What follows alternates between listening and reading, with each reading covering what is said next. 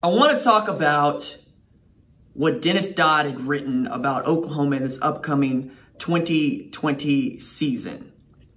And one of the things that struck me was just how optimistic he is about this 2020 season.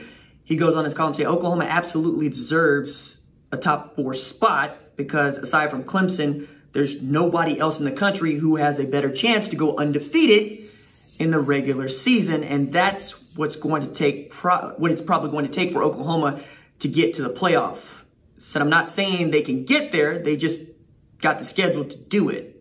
With that defensive performance last year against LSU, they've lost credibility with the committee. They actually got better defensively, significantly better defensively, but fell victim to LSU as a lot of people did. But they've got to win all their games. I think they can win all their games, but Oklahoma is absolutely a top four team. Goes on, the 2020 season marks Lincoln Riley's fourth on the sidelines since replacing Bob Stoops. But it also is a pivotal year in which he finally gets the opportunity to try out the guy that he handpicked at quarterback. Baker Mayfield was there when he got there. He sort of handpicked Kyler Murray, if you want to make that argument, because when Murray decided that he was going to transfer and word got back to Riley, Riley said, make it happen and sign your financial aid agreement. And then there was some stipulations that put in place about playing baseball and football. And he asked him, hey, give me one season of football and, and we'll, and then do what you're to do. Cause at the time we all believed that Murray's future lies in baseball. Good that he picked football because the Oakland Athletics decided they're not paying their minor leaguers this year. So there was a sound business decision. But getting back to that position, Rattler commits. Rattler is a big part of that program, even as Tanner Mordecai was kind of also thought about. At the time, the guy that he wanted, right, Cameron Rising, decided to flip his commitment to Texas and he ends up at Utah. So Mordecai's just kind of there. He wants to come to Oklahoma and he does. So now we have what we believe, you know, I say what we believe in air quotes, is going to be a quarterback battle between Mordecai and Rattler. And putting aside if Mordecai can beat out Rattler, I think most people's prognostications, our predictions, our forecasting is based on this idea that Rattler is the starting quarterback. I don't think that many people feel the same way about Oklahoma having an opportunity to win all their games. To Tanner Mordecai's quarterback. Just don't. Now, people close to the program might feel a little bit differently. I myself, I even have doubts about whether or not Oklahoma can go undefeated to get to the college football playoff. Why? Because Oklahoma hasn't gone undefeated in the regular season since 2004. And we got to go back like 10 years for the last time that Oklahoma made it through the month of October unscathed. And you're asking a lot.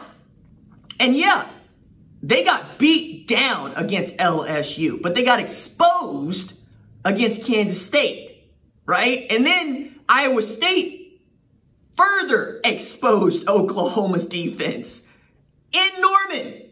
at game's and Ames this year. And it ought to be Matt Campbell's best team with Breece Hall in the backfield, with Brock Purdy at quarterback, and with Jon Heacock's three safety drop eight defense giving everybody fits. To say nothing of I'm bullish on Texas Christian because Zach Evans is carrying the rock and Gary Patterson is still calling the defense. Max Duggan's a gamer, right? That dude has enough moxie to be considered on the same physical stand from the physical standpoint of a Sam Ehlinger. Meanwhile, that team is going to be the most talented that they have been probably since 2009.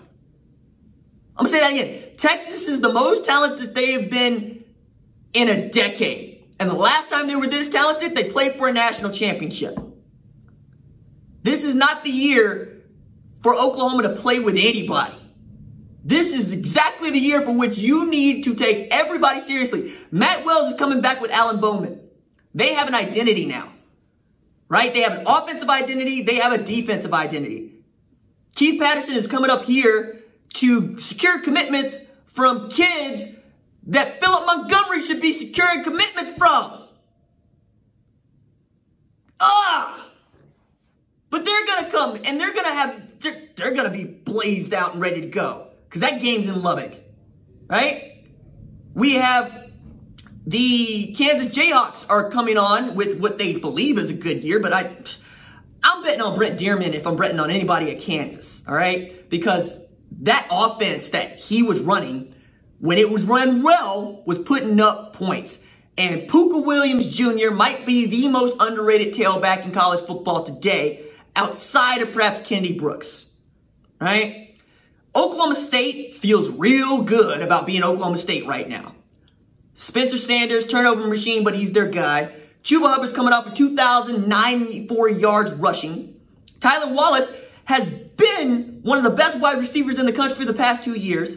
And their defense is better than I thought it would be with Malcolm Rodriguez, I believe, going to have just a breakout year.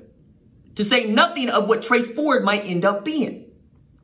Now, add into all of that Chris Klieman in Kansas State and what Emaw's going to do. Because Courtney Messingham is back, and yeah, I think losing Scottie Hazelton is not going to help them, but they elevated from within. And Klieman has shown he knows how to win. Because in a year in which nobody expected that man to do much of anything, I said Kansas State's going to win seven games, and nobody's going to know what to do with them. Didn't know that they beat Oklahoma, put 48 points up on them. But that football program and that football team and that head coach finds a way. That's the scariest game in this conference for me right now. Because they will find a way to stay in a fight and at the end have themselves positioned to win the thing which is exactly what happened against Oklahoma State with Skylar friggin' Thompson at quarterback. All right, they're running fake guard counters. Like they're, they're playing an elite level of chess and they're scheming. Okay, they're saying, "Cool, you want to be athletic and fast? We'll use that against you. We'll do this Steven Seagal stuff for you. We can do that. It's fine. We can use ninjutsu." I'm saying that there's not an easy win in this conference outside of West Virginia right now. All right, and Neal Brown probably gets together at some point, just not in 2020, right? Just not in 2020. And if you're going down this conference and you're going, where's my easy W? And you're looking at Oklahoma, your easy W is in Morgantown this year. You got to go to Morgantown. That's not an easy trip. Sure as hell ain't going to be an easy trip in the age of the virus. You know what I mean? Okay? Now, on the other hand, you, you get Oklahoma State at home, but the last time you got Oklahoma eh, State at home, Corn Dog needed to underthrow a pass for you to stave off getting beat. Not unlike Iowa State last year, where if Brock Purdy had thrown to the other tight end and not the tight end that was double covered, maybe you get beat there too. Know, Texas Christian was in a, a bridge year for a quarterback that was a true freshman. Yeah, you got to replace Jalen Reagor, but you got to figure that out in anyway, and everybody knew that was coming. But everybody gets tight when you're playing Texas Christian.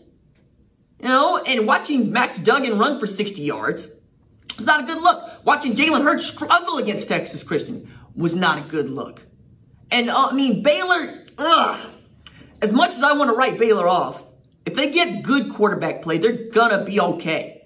Because Dave Aranda knows how to call a defense, coach defense, and Larry Fedora knows, if anything else, he's got 30,000 permutations of plays to look back on and he's logged every single one of them. So he's to know what your tendencies are, a la Ed Henry and Remember the Titans. Okay? He's to know. And you're to have to find a way to stop the man. I just don't see easy wins. I'm not ready to say that Oklahoma can go undefeated in the regular season. But that's probably because I pay closer attention to it than Dennis Dodd does. And that's not shade, that's just what it is. You know? I care about the teams here a little bit more than I care about the teams everywhere else. His job is to care about all the teams.